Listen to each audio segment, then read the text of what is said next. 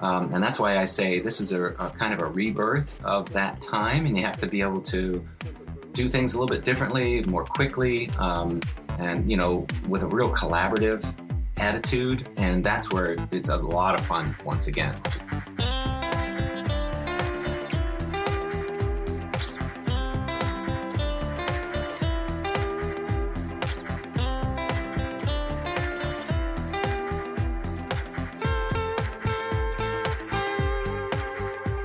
It's Wednesday again, and that means that we're back for the Pencil Kings podcast.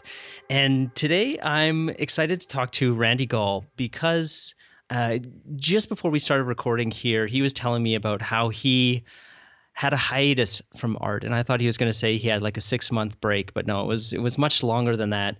Um, but before we get into a story, I just want to remind you that the notes for this, if you want to um, anything that we mention here, any links or anything, that'll be at pencilkings.com slash Randy Gaul. That'll be R A N D Y dash G A U L. So, um, welcome to the call, Randy. How are you doing today? Oh, thanks so much, Mitch. Uh, I'm doing great, and thanks for giving me the opportunity to uh, catch up with you and share some stories. Yeah, I'm I'm looking forward to digging into this because I know that there are people who have who want to make a, a transition, and I, I feel like just in the in the little bit that you told me about your your story that they're going to be able to relate to that to wanting to change from one thing into something else. But before we get into that can you give people just like a 1 minute overview of some of the th- of the things that you've worked on or or what you're working on? Well yeah just just a 1 minute overview of like what kind of art you do uh, where you're from and then we'll dive into your actual story. Sure, sure. So, um, boy, I guess I've been at this for a long time. Currently, and most recently, I've been working on Alice in Wonderland 2 for Sony, and Sony's working for Disney. So I've done some creature design and visual effects sequences design for that movie, and then did a little bit of work on Transformers 5 um, just a few weeks ago. And then early in the year, I was working at DreamWorks on a couple of different shows there before that studio closed here in Redwood City. And in addition to that, a whole bunch of independent projects. So they range from stop motion stuff to VR stuff to my own properties. One's an animated feature and with a bunch of other VR properties. So that's what's going on presently. But um, I graduated art school in New York from Pratt Institute many moons ago, where um, I had a BFA in illustration and minors in uh, drawing and printmaking. And once I graduated there, my first job was working in a print shop. excuse me, which was pretty fun. I worked right under the Brooklyn Bridge, uh, working on a bunch of etchings and lithographs. And after that, um, sort of transitioned into teaching for a little while uh, because that was better at paying the bills than doing artwork, which was difficult. I was doing a little bit of freelance illustration as well for editorial work and young adult books and so on. And that was a real challenge trying to make money and pay bills and so I started um, doing some teaching work and picked up some woodworking and contracting skills and did that for 10 to 12 years. And then a crazy little twist of fate came around where I ended up uh, back in art. And uh, I'll tell you about that in a little while. Cool. So yeah, that was a that was a great overview, and it sounds like you've got a lot going on. Although, just from the tone of your voice, you sound like a very calm, collected person, and you're able to handle like anything that life throws at you. Does that sound accurate, or am I off base there? Well, I would say, and th- thanks for that. Um, sometimes it's not necessarily working that way, but um, if anything, you, you you have to really learn how to be diverse these days. Uh, a lot of things are transitioning and changing in the industry, and there's a lot of great opportunities out there. There have been some experiences that have taught me how what to avoid and particular people to avoid, I should say, out there. So, um, above all, I would imagine you know it's really good to have a broad set of skills in this industry now, and that encompasses theme parks and uh, games and uh, film and television and storyboards and uh, texture mapping and uh, matte painting and so on because the industry has so shifted. And so it, it sounds like you're doing so many things. And is is this because the industry is changing that you actually have to be a texture painter, a storyboard artist, uh, visual development artist? Like you you actually need to be all of these different roles in order to keep the jobs going consistently, or is it just this is more of a function of your personality that you're just interested in all these different things, so therefore you dive into them? Yeah, I think it's a combination of all of the above, which is what you just mentioned. I mean, after you do work in an art department for a little while. Um, it, honestly, sometimes it gets to be a little bit unchallenging. Uh, you get you get into a bit of a, um, a grind, I guess is what you could say. You know, a lot of studios tend to crank out the same kind of work over and over and over again, and there's lots of changes and iterations and you know once you kind of get used to the stories and the brand of the studio um, it's not necessarily as challenging as you would like it to be and so some some studios are really cool with you uh, doing some other work on the outside. Some are not. But what I found is that in order for me to be creatively challenged, I, I love to reach out and see what else is going on. And frankly, these days, what's going on in the independent world is far more interesting than what's coming out of the major studios. And you know, that's myself and a bunch of friends and colleagues that are out there trying to create new content, different content than what we're we're seeing out there these days. Could you give us an example of, of what you mean by the independent world having more interesting projects? Sure. Um, well, there's a couple of things that are going on in the VR world, and for for your audience here, I think that's a really great place to start looking because it doesn't really have an established culture just yet. You know, lots of companies are diving in, some are sitting on the sidelines waiting, but it's an entirely new medium that represents some really interesting opportunities and challenges for storytelling. And you know, some of the mm-hmm. veterans that are coming out of the film world are trying to figure it out. And from a visual point of view and a design point of view, it offers some incredible opportunities that you know I'm starting to have conversations with some people like Google, uh, Jaunt, uh, Immersive 360, uh, Digital Domain, and uh, some others. Uh, if you look at what Oculus is doing, they did a little thing uh, called Henry, which is kind of, um, for me, disappointing in that it's what you would expect out of a major studio, I guess. Not really new or challenging uh, content, um, but some other studios are doing some stuff that's far more compelling and interesting and a place where artists can find new challenges that are outside of the, the regular studio system, you know. Yeah, definitely. I and I, I, guess for people who are listening who may not understand VR or Oculus or some of the other companies that Randy just mentioned, there's this huge change that's coming. Like we might it might not touch you yet, but I think this Christmas is when things are really going to start to change when the video game consoles are i think officially the stuff is going to be ready for the public and it's these helmets that you put on and finally virtual reality you know I forget if, if it, I think it must have been in the 90s when I first saw virtual reality in some magazine. I was like, "Oh, this is going to be so cool!"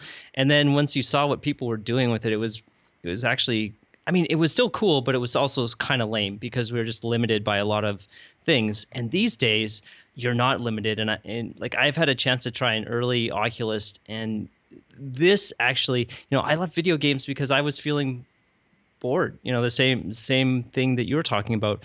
But I feel that VR, I didn't know what you meant first when you said independents are doing more exciting things. But yeah, I feel like VR is the change that uh, we've been waiting for in video games. That is finally gonna, you know, it's always just been holding this little controller in your hand and watching a box. Uh, you know, the box being your TV. And it's been like that since the beginning of video games. And now, finally, it's this way more immersive experience. And if you have a chance to try out one of these, if you're if there's they have a demo at a mall or wherever, a convention or something, definitely it's worth standing in line to check it out because it's so different and weird. Like I felt like I was going to throw up. Oh no! when I did, I remember I was like flying through the city, and there's a veloc, and then th- that was one demo, and then there was another one where there's a velociraptors running around this urban environment, and yeah, I felt like I was going to throw up. I just had to take it off after a while. But I mean, you get past this this point, but it, yeah, it, it is a, a, really amazing and exciting time. So sorry to to monopolize the conversation there, but I, I just wanted to explain to people like this shift that we're at the beginning of this amazing revolution in how we experience media.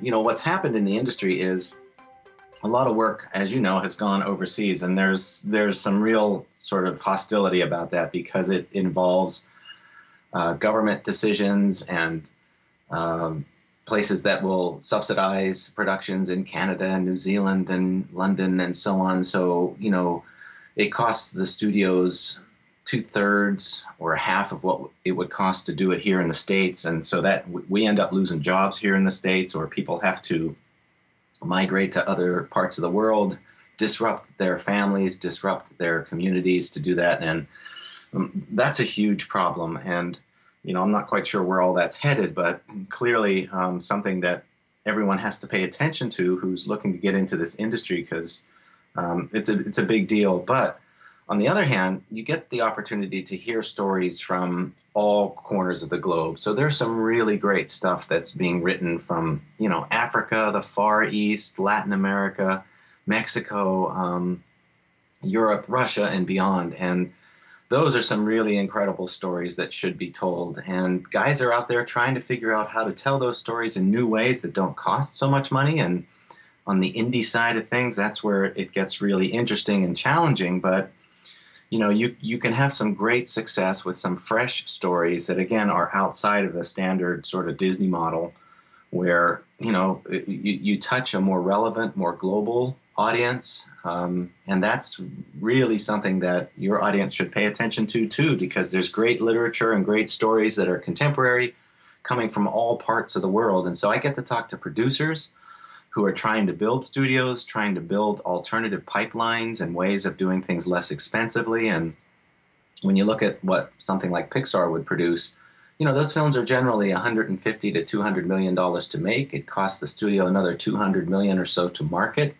So by the time it's out in theaters, it costs the studios around a half a billion dollars. So they need to be able to generate close to a billion dollars to show the kind of profits that their shareholders are looking for. And that really compresses the ability to take risks. And a lot of times, you know, I know people who are working in studios who have great ideas, and the studios just don't want to tell those stories because they're they're outside of the the brand or kind of the, the comfort zone of, of the studio. And you know, that's kind of what's going on with Star Wars now. Um, you know, as as big as that franchise is, there's a lot of disinterest out there now for that because, you know, how many times do we have to visit that world and go through those same kinds of conventions? And what's what's crazy is that you get great artists who have all of the skills necessary to tell new stories, and they're drawn back into these ongoing franchises that just don't represent the future. Don't don't tell the stories of kids and families today. They're they're retelling stories that are 30 and 40 years old now. Right. Randy, you know what's really interesting in, in listening to you talk? I feel like you have such an elevated perspective of the industry at large, and I'm really curious where that comes from. I, I did, could never have foreseen myself asking this question when we started, but it just seems like you have a really great grasp of, of everything that's happening and you're in touch with the people that are actually making these decisions and influencing things. Is this just from being in the industry for for a, a certain period of time or is it how you're networking with people or, or, what do you think it is? Because i think it's it's definitely an enviable position because you can really you've got your finger on the pulse of well, pretty much everything that's going on. I, I appreciate that. I mean you know one of the qualities that i really think is really crucial, not just to a passion, because you know you shouldn't be doing anything unless you have a passion for it, right? That's that's kind of the the burning fuel that you know gets you out there doing what what you are meant to be doing, and along with that, just as importantly, if not more so, and I'm not the first guy to say this by any means, is a tenacity to make sure that that passion is fulfilled and addressed on a on a daily level, right? And I think I just counted. I, I've worked on my 56th film at this point, and wow. that excludes anything else that I've done that's been in television, that's been in theme park or resort development or any number of other things. And you know, the spectrum is both live action visual effects films, it's you know animated films, it's you know broad different styles of things. And I'll tell you quickly how it happened for me was um, we were living in Pennsylvania, and I had done a little bit of CD-ROM work for Disney years ago, and that was going great. And they offered um, my myself and my family a job out in California, and the guy who was going to offer us the job said, you know, you're welcome to take the position, but I'm not sure how long CD-ROM will be at Disney Interactive because CD-ROMs were fading and console games were coming up, and it was going to be a big deal, and so we decided not to, to, take that position, stayed in Pennsylvania for a while, and things were a struggle from there trying to find work in the industry, as you can imagine. So I was driving back and forth to New York to get what work I could, and eventually took my portfolio down to um, Florida for a SIGGRAPH conference, which is another important thing for your audience to know about too, and, and um, went down there and took a bunch of rejection letters with me that I had received from studios as I was applying for work. And I found ILM down there and I knocked on their door and they gave me an interview in their view painting, texture painting department. Um, and they said, you know, your work is great, but we really don't think you're a good fit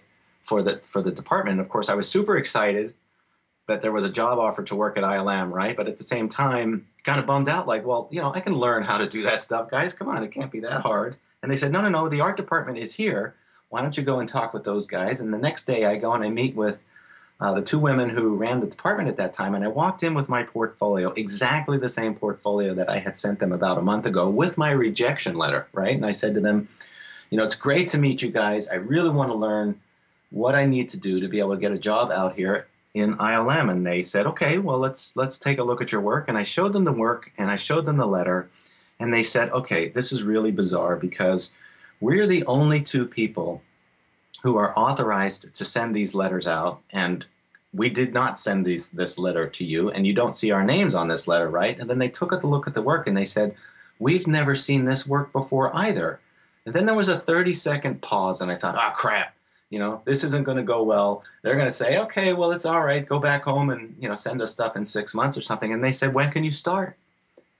And I thought, wow. what the heck is going on with this? And so that's what I mean about the tenacity. I had a letter of rejection from them. I had to haul down, put put the trip on my credit card to show them the same work that I had sent out there. And just through, you know, sheer luck and, you know, the desire to try and figure out why I wasn't able to get into the industry, these two kind women, uh, three weeks later, had us moved out to California, and that's you know almost 17 years ago and that's how things got started for me. So I would say to everybody out there, you know, it's not just having the passion and the skills to be able to do this, but you're going to hit some obstacles and roadblocks out there that you could never anticipate. Like, how did this happen and why did this happen? And then you have to figure out how to solve that problem. And, you know, it's become a much bigger, much more competitive environment than it was, you know, 17 years ago guys are competing with talent from all over the world for positions that are kind of scattered throughout the world. So you got to keep at it and at it and at it, at, you know, to a pretty uncomfortable level sometimes. And in that process, that's where you get to meet a lot of people. You get to share stories, and that's where your network builds. Um, and that's what's really cool is that you know I've been able to work for studios all over the world, um, all the major studios here in the U.S. and you know, when you go through the trenches with your colleagues and your friends and you see how important art is in their lives and their communities, you get to a point where you start to see, you know, some patterns and you start to see where some of the frustrations are coming from from the artist's side. And that's another really important thing is that, you know, it's an artful process. And sometimes in contemporary times it's become more of a business. It's it's commodified the artists into you know people that are executing a brand. And it didn't used to be that way. You know films weren't so expensive. Uh, telling stories wasn't so complicated and people were more willing to take risks. And that's kind of what's happening in the outside indie world and that's where fresh ideas are more welcomed. Um, and that's why i say this is a, a kind of a rebirth of that time and you have to be able to do things a little bit differently more quickly. Um, and you know with a real collaborative attitude and that's where it's a lot of fun once again which is great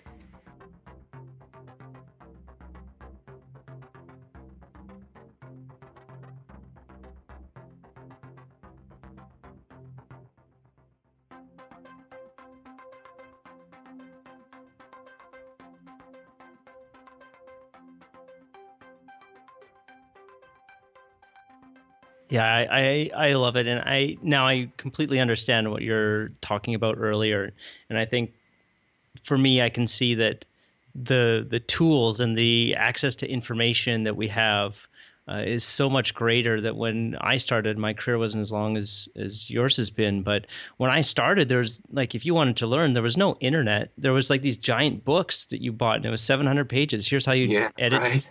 artwork for video games, and then you just sat down, and either you could sit through a 700 page book or you couldn't. Yeah, and uh, and now you know there's all these tutorials the tools are much better there's all kinds of groups that you can join and, and connect with other people all over the world it's such an amazing time and really you just have to say you know decide what you're going to do and then take that first step Yeah. and take the next step after that Totally, and and don't don't be saddened by rejection from studios. Um, you know, a lot of times it's pretty devastating to get you know the sad news. You know, at, currently at this time, we don't see your skill sets. You know, working with our production current production slate. However, we'll keep your name on file, right? I mean, we all get that all the time. Um, and that's very common. It doesn't mean that you're not a great artist and that you don't have the skills. It could be any number of impediments that are getting in your way, and you need to just, you know, move on to the next one and keep trying and keep slugging. And somewhere out there, you're going to find your start, and it could be social games or video games or the film industry or medical illustration or theme park resort stuff. And i'm just scratching the surface. Um, you know i'm working on a couple of independent stop motion films here in the san francisco area. And you know those things are just beautiful little little projects to be involved with. And so you know it it needs to make you happy for where your passions are. Um, and eventually you'll be able to find your way with it because it's what you're meant to do. And then all, hopefully ultimately you'll get to be able to tell your stories. You know what what is personal in your life? What has affected you and what inspires you? And what are what are really great you know stories to tell that are very personal and very intimate? And one of the great things is you know the tools are so accessible now. I mean you can kind of do a lot of work from home and within a small group of people. You can do cloud-based production. I'm talking with a group that just spun out of DreamWorks that's building a studio, a cloud-based studio that enables people to kind of put together talent to build teaser trailers for their own content to pitch to studios, um, stuff like that. And that's what's happening when studios close, right? So DreamWorks out here laid off 500 people, and I'll never forget the day sitting in the room when Jeffrey Katzenberg said, "Oops, I'm sorry, but we have to close this place."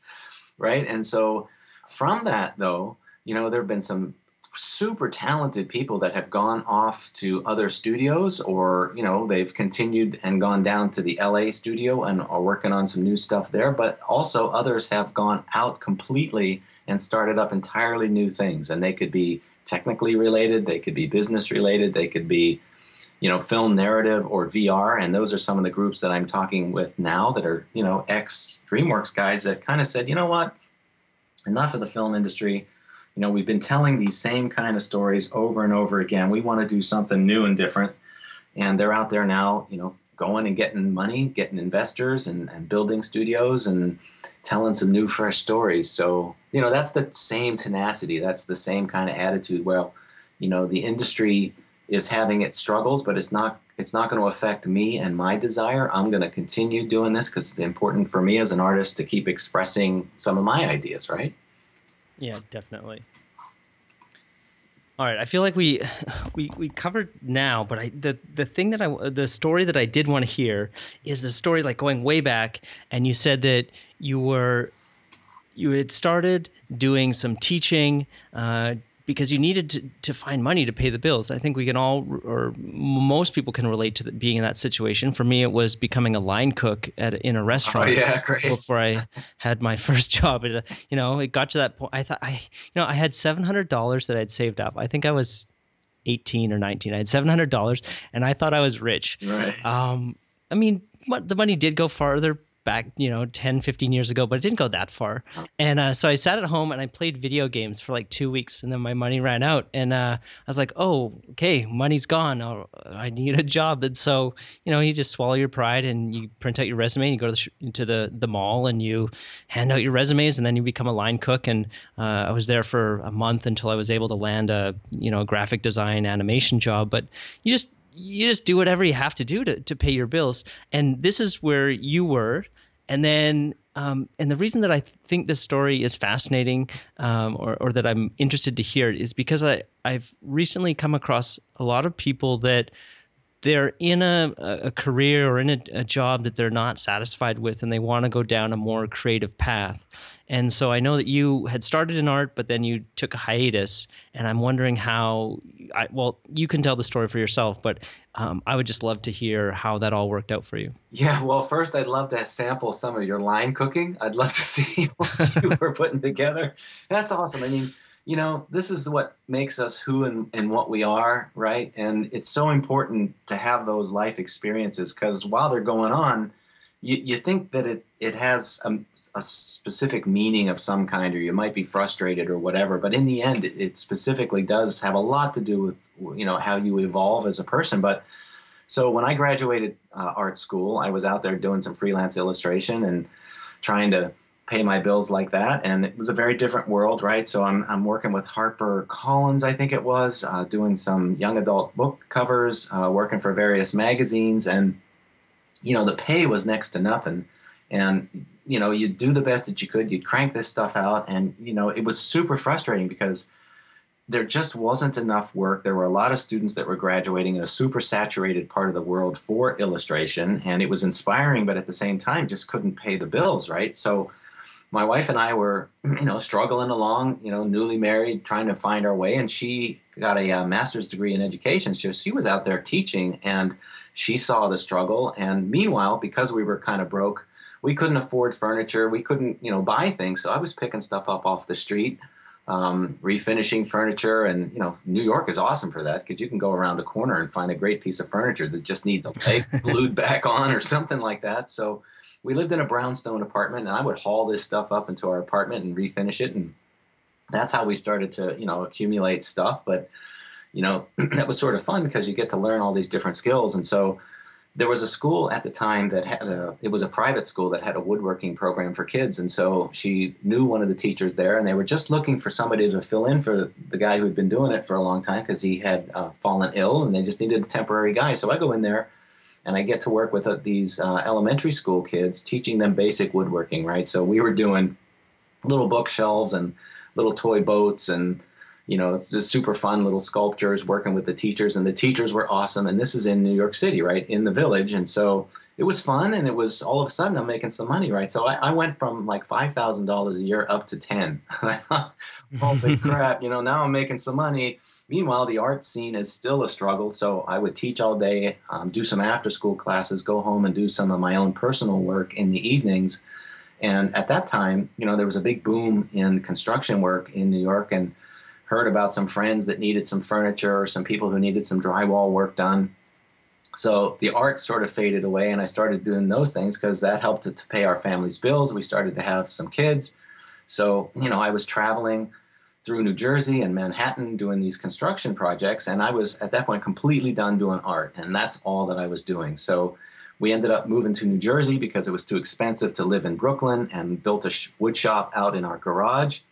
And then um, did that for a number of years until uh, Reagan came along and his recession uh, forced all of uh, my family to move back to Pennsylvania because w- there wasn't any construction work uh, or enough construction work in New York at the time to, to keep that going because my referral network of architects and designers, they had all lost a whole bunch of business.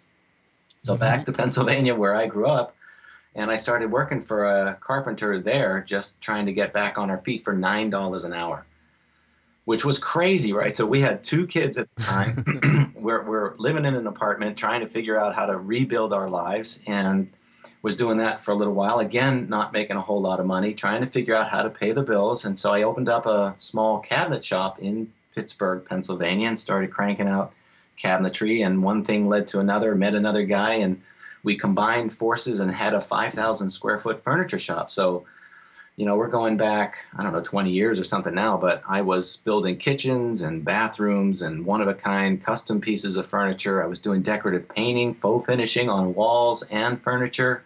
You know, and that's where I was still being creative and using some art skills, but I, I certainly wasn't designing for film or doing anything yeah. like that, right? And this friend of mine calls and he says that, you know, this whole CD-ROM thing is starting up he knows some publishers uh, that are looking for content. So would I mind doing some pictures for an idea that he had? And I thought, okay, well maybe now I can start doing some some of that again. And I did ten or twelve sketches for him, and he pitched this idea in New York to a developer who said, "We love it. We we want to do it. We want to make it." Right? And I thought, okay, well, good luck with that. you go ahead. And, and, do it. And he said, "Well, no. I mean, I need you to do it. I need you to do stuff." Well, you know, it's it's been a long time, man. Like I have a wood shop, I have a business that I'm running, and he said, "Well, you can do both, right?" I thought, "Wow, okay, well, maybe we can give this a shot." And that's when I first started to learn digital uh, skills because I was traditionally trained. So I was not only running the wood shop, but I was also trying to learn Photoshop and do all this digital art for this CD-ROM, which was called Junkland at the time.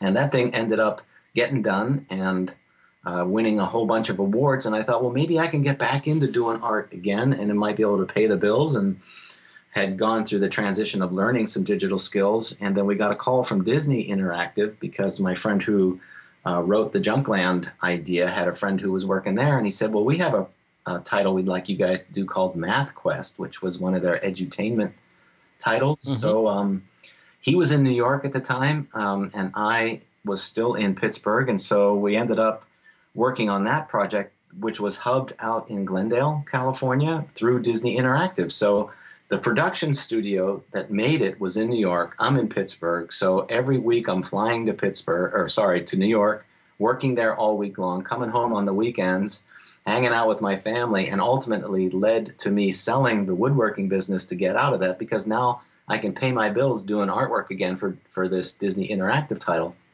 which I think I told you ended up leading to the job offer that I declined because CD-ROM was sort of tanking at the time. So, you know, that was a good long period where I just was not doing any art. But, you know, I was paying my family's bills and we were raising kids and, you know, still being somewhat creative, but I still, you know, deep down had that longing to get back to doing artwork. And through that course, ended up with this crazy moment at SIGGRAPH with ILM after applying to studio after studio after studio with the same sort of cookie cutter rejection letter. Thanks very much, great work, but not the right fit for what we're looking for now. Um, and it ultimately led to the job that I have now. So, wow, that's the crazy story.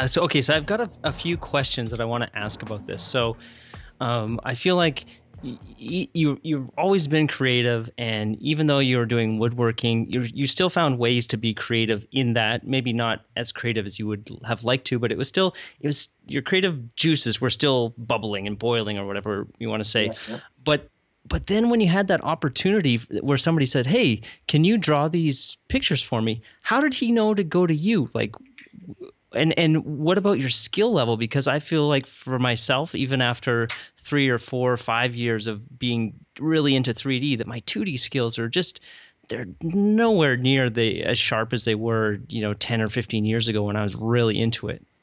Yeah that's a really good question. I mean you know he, he's married to a woman that we've been friends with for a very long time. Uh, his wife I've known longer than I, I knew him, and you know, she kind of knew our backgrounds as artists. She knew that we had gone to art school. And, you know, don't forget, I was a printmaker for a while and I had been doing illustration and art on the side. So there was a bunch of that oh, okay. around the house, right? So that that was enough for him to say, you know, you can do a couple of sketches. And, you know, that it was fine. Uh, it hadn't totally left me at the time because I had been doing, you know, drawings I still had to do for cabinetry design, you know, things like that. I wasn't doing creatures or aliens or spaceships, but I was doing, you know, kitchen cabinets and fine furniture, you know, one-off kind of things. So that there was enough there for him to say, "Hey, you know, can can you do these?"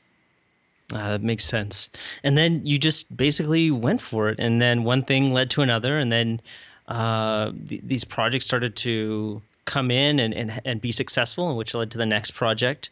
And then at that point, you're still in the, the sort of like the northeastern U.S. And then that's when you decided to apply to these companies. You got the rejection letters. Yep. And then you decided, hey, I'm going to go to this conference called SIGGRAPH, which if you if you don't know what it is and you're interested in, in being in the entertainment industry as an artist, you should look it up and, and see if you can attend it. It kind of travels to different cities, so it might be uh, actually not as far as you think to go to it. But then you went there with your rejection letter and your exact same portfolio. You didn't add or change or do anything. You're exactly. like, here it is. Yep.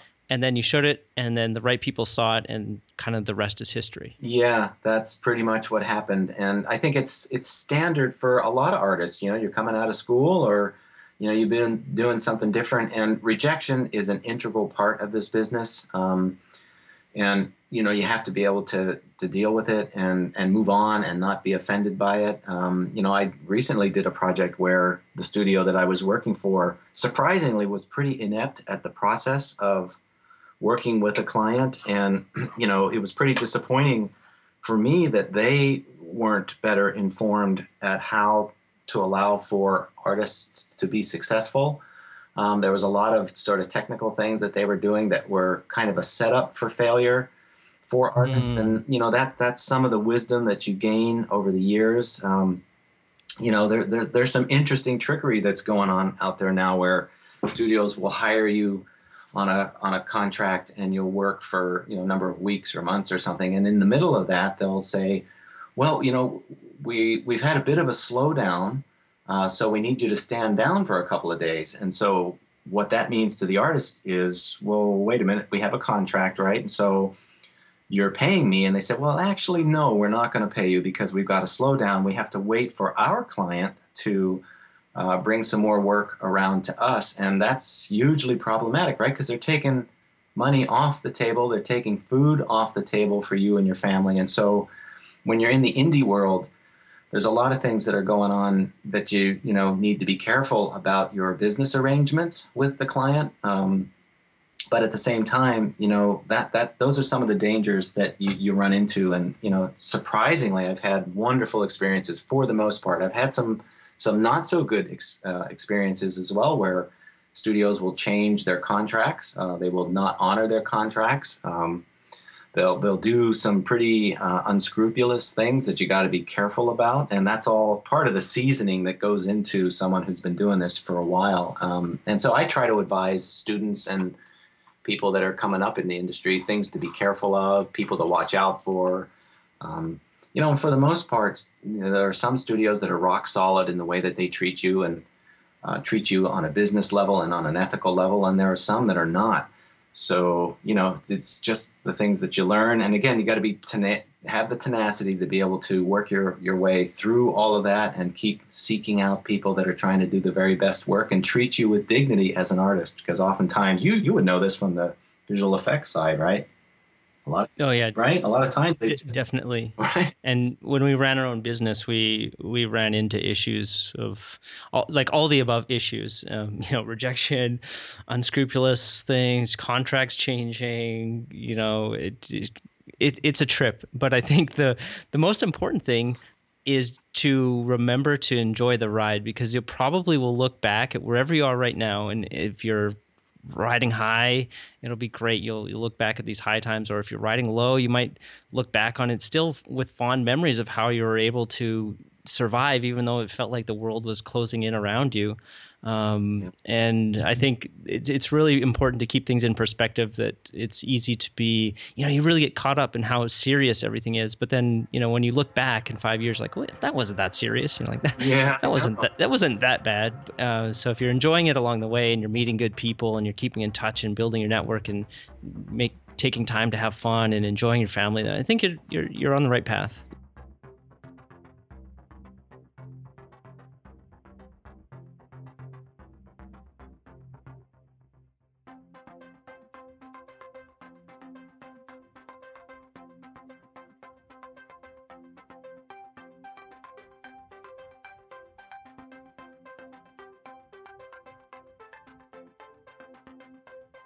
Yeah, totally. And, you know, I would really urge everyone to remember how precious and important it is as an artist uh, in, in a world that, you know, oftentimes just doesn't really respect it and, and give it the due uh, uh, respect that it, it, it deserves, right? I mean, each of us are uniquely individual in, in our perceptions of the world and what we bring to the world through our art, right? And it's such an amazing gift to have. And oftentimes when you're out there trying to make a living at it, you know, they're, they're using a piece of that component, which is who you are, right? So if you're working for this studio or that studio, you're taking all those skills and all that passion and providing a service to them for their product, right?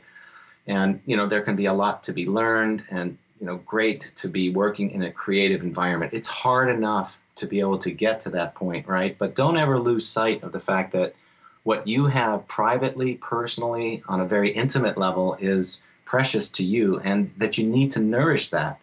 Um, oftentimes you can get you know frustrated or exhausted working in the industry right and it can be super exciting to work on some shots and you know do some stuff for for any number of different you know game studios or film studios and so on. But then there's you know who you are personally. And to be able to keep doing that kind of work show that work if you can um, get into galleries sell it online share it with your friends show it in the local restaurant nearby. That's mm-hmm. right that's who you really are. And that's why you got into this business in the first place.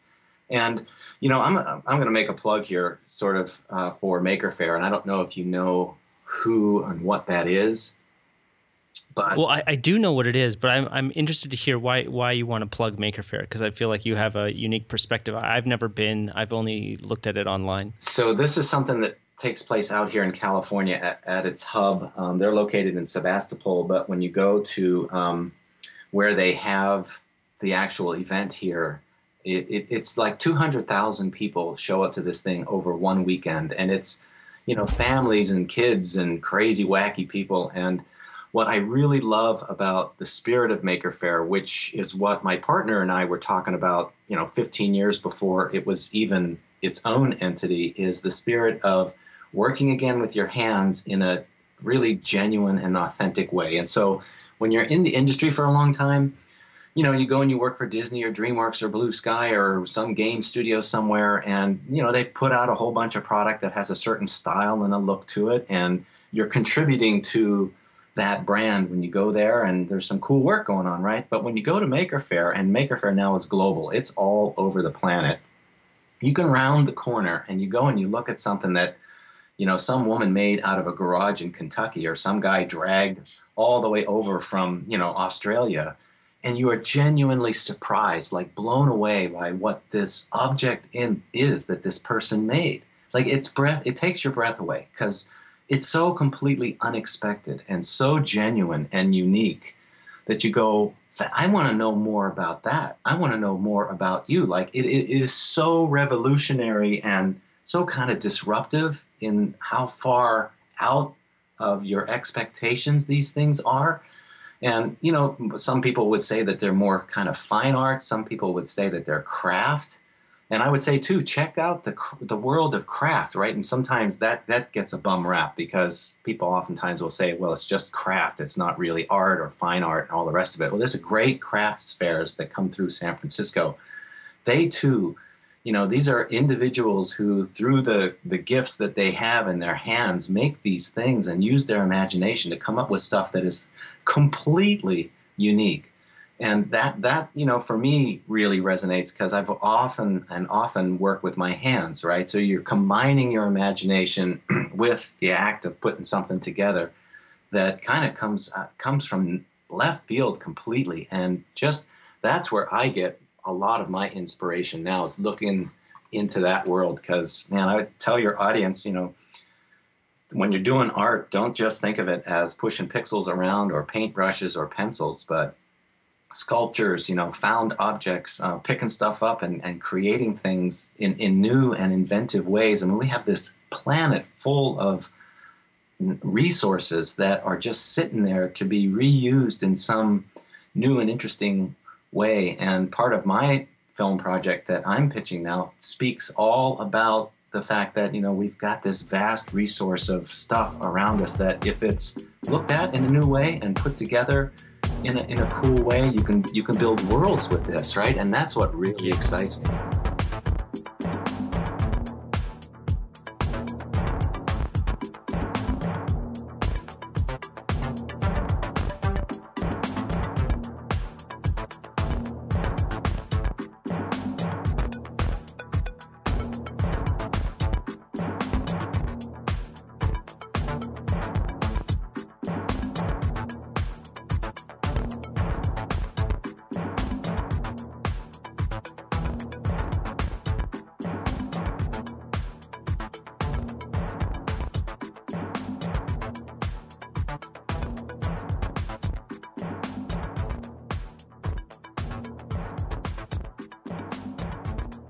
I think yeah. I think that's. Uh, it, it's so important to go out and, and seek inspiration, and um, now I feel like I need to add Maker Faire or, or look if there's a Maker Faire or some of the places that I'm going to be. I don't know if they have one here in Germany, but maybe uh, they probably do. I, I, just have to find it or something similar. Um, but yeah, if you're listening and you want to check it out, definitely you can see photos on the website. And if there's one happening in your city, it'd be a great weekend excursion, something very fun and, and creative to do. Um, we should wrap this up, Randy. Where's the best place for people to find you online? Uh, well, if you just Google my name, Randy Gaul, you'll see me come up as a visual development artist, and you'll see a website there that's a little bit old and dated. Um, I'm also at Zerply, and I don't know if you know about what Zerply is. It's Z E R P L Y, and it's a sort of a collective of professionals in the industry, uh, more industry specific, that uh, will show artists, many artists now who get to showcase their work. So you can upload your work there. Um, you can share it with people. People can check you out. There are job postings there. Um, that's another way of checking out some work that's sort of outside of what's on the uh, website. Um, and again, there's a couple of stop motion projects. One I really want everybody to take a look at called Cicada Princess, and that's one of the independent projects that was directed by um, Maurizio Baiocchi, Malchi we call him out here, who's a really brilliant guy. Um, that's a sweet little film to take a look at. So, um, and then you know, pay attention next year for uh, Alice in Wonderland 2 Through the Looking Glass. Uh, you'll see some work on that one, um, and then um, boy, some Transformer Five stuff, but that's not for a while, and uh, and then shopping the the VR world and stuff into the future. So you know, we're, we're always looking down the road.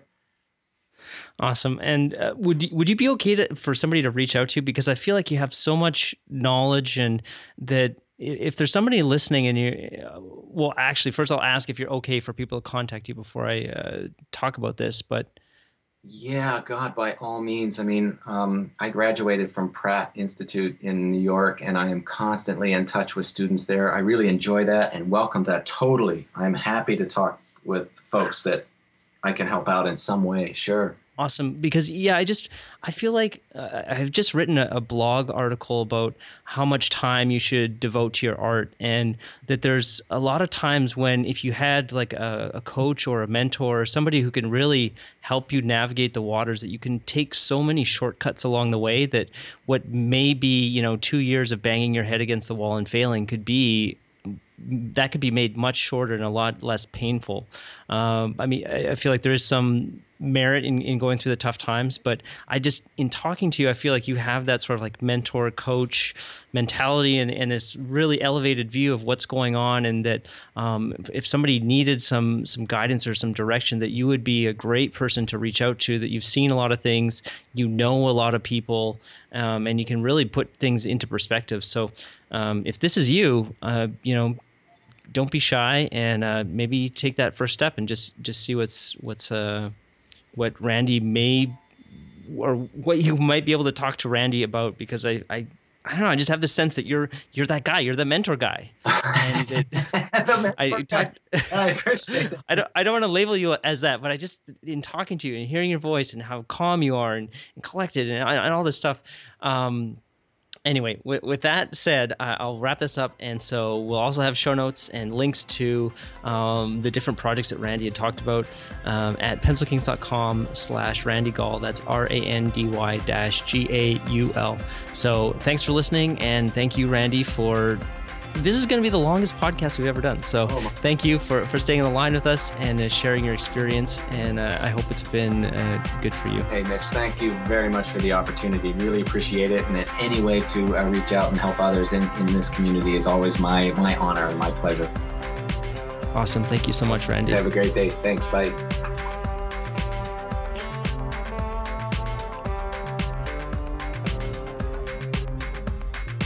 demands patience skill, years of practice. Ah, you talk like a fool. I would trade a century of practice for an ounce of inspiration.